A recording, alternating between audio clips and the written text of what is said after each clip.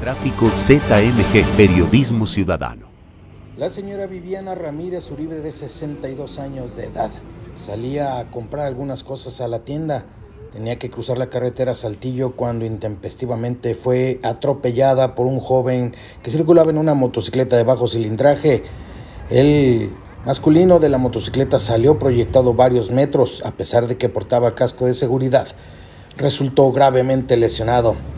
Los minutos corrían y las ambulancias no llegaban.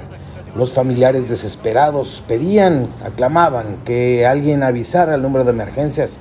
Sin embargo, algunos testigos que estuvieron en el lugar acudieron hasta la Cruz Verde que se encuentra ahí cerca de la carretera Saltillo para informar a los paramédicos que acudieran con una ambulancia.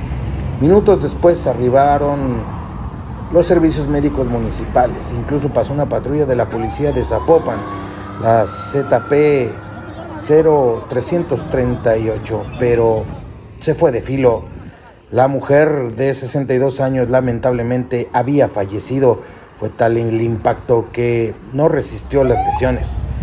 El lesionado de la motocicleta con uniformes del Sidralaga, un joven de aproximadamente 25 a 30 años de edad, fue trasladado en condición grave a recibir atención al puesto de socorros.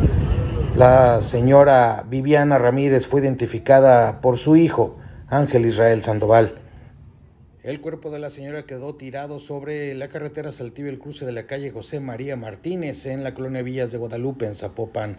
La oscuridad de la carretera Saltillo fue uno de los factores principales para que la mujer fuera arrollada, que lamentablemente falleció.